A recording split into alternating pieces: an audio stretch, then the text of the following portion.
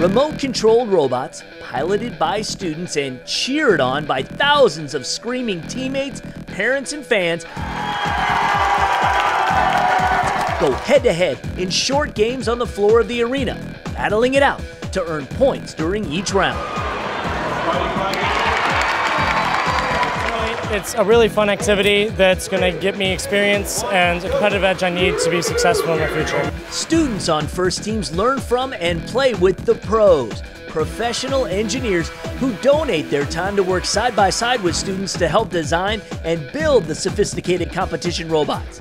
This gives first students an insider's view of a career in science, education, and technology not possible in a normal classroom setting. I was a student on the team way back in 2003. This is my 12th year. So I was a student for four years and then college mentor, and then now I'm a mentor. I work at a tier one automotive supplier. So I wouldn't be an electrical engineer if it wasn't for this team.